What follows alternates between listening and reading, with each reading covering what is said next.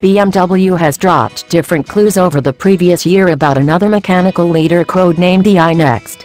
Due in 2021, the vehicle will be fueled by batteries, include a self-driving framework sufficiently vigorous to give you a chance to rest in the driver's seat now and again, and be worked at BMW's fundamental plant in Dingolfing, Germany.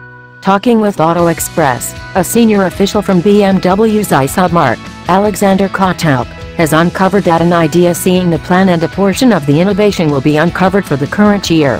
Kotouc additionally uncovered that the iNext will be generally an indistinguishable shape and size from X5, as it were a moderate-size SUV.